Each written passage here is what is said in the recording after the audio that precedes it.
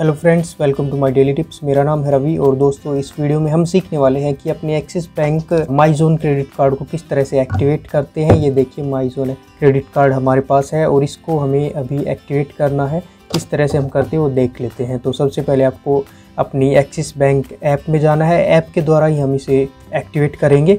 अगर आप app use नहीं करते ऐप तो उस पे भी एक वीडियो मैं जल्दी बना दूँगा। आप मुझे कमेंट करके बता सकते हैं। जल्द से जल्द उसकी भी वीडियो मैं बना दूँगा आपके लिए।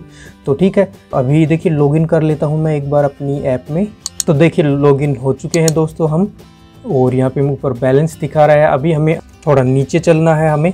और यहाँ पे देखिए प्रोडक्ट्स में दिखा रहा है क्रेडिट कार्ड। इस पर हमें क्लिक कर देना है।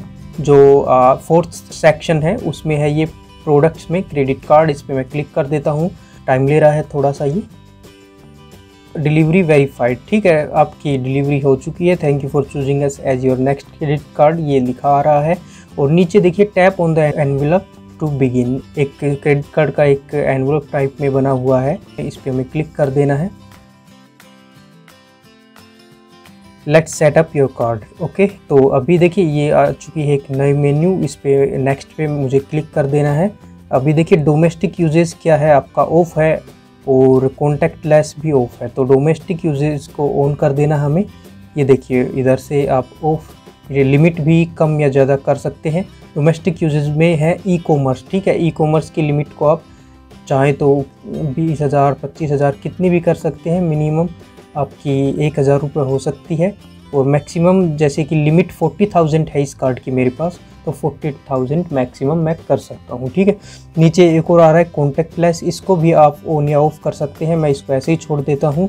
एटीएम का लिमिट जो है वो फोर्टी थाउज़ेंड है, लेकिन इसको मैं बिल्कुल बंद कर देता हूँ। मुझे एटीएम से बिल्कुल पैसे नहीं निकालने हैं इस कार्ड से।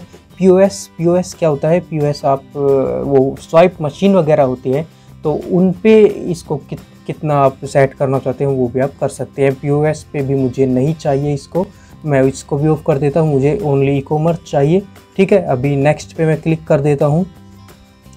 अभी इंटरनेशनल यूजेस आप ऑन या ऑफ़ कर सकते हैं यहीं से तो मैं इंटरनेशनल यूजेस जो है, उसको ऑन कर देता हूँ, क्योंकि मुझे ज़रूरत रहती है इंटरनेशनल प्रोडक्ट ख़रीदने की तो मैं इसको ऑन कर देता हूँ।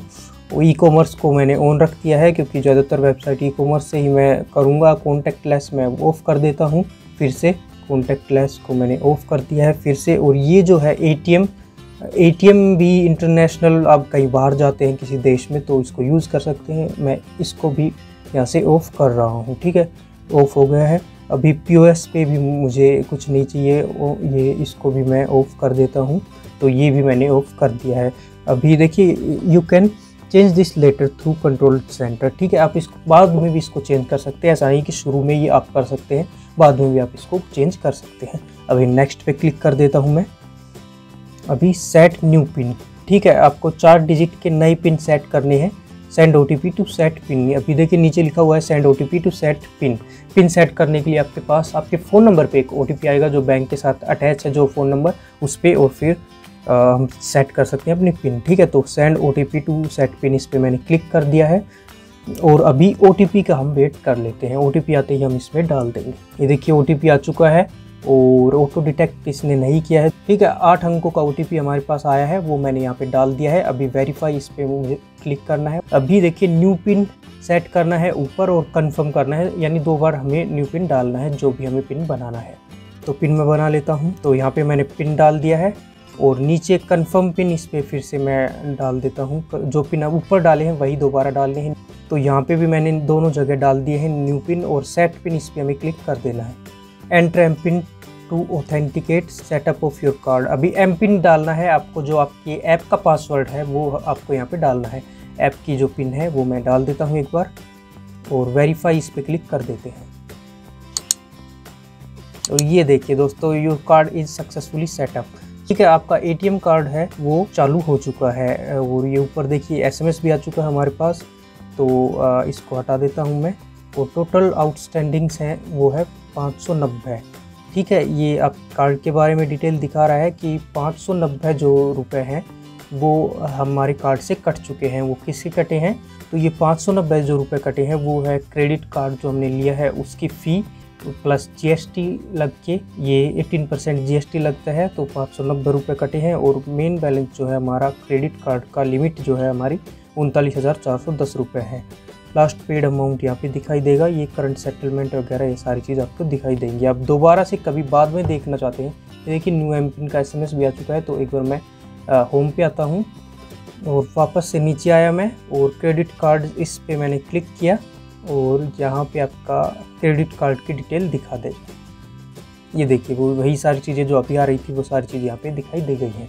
तो उनतालीस हज़ार चार सौ दस रुपये तक मैं खर्च कर सकता हूँ, कुछ भी खरीद सकता हूँ ऑनलाइन तो दोस्तों, ये थी वीडियो किस तरह से हम अपने Axis Bank My Zone credit card को एक्टिवेट करते हैं एक्सिस बैंक ऐप के थ्रू तो उम्मीद करता हूँ आपको वीडियो पसंद आई होगी और इस तरह की और वीडियोस देखने के लिए आप चैनल को सब्सक्राइब कर सकते हैं। अगर आपको कोई सवाल या सुझाव है तो आप कमेंट करके पूछ भी सकते हैं मुझसे।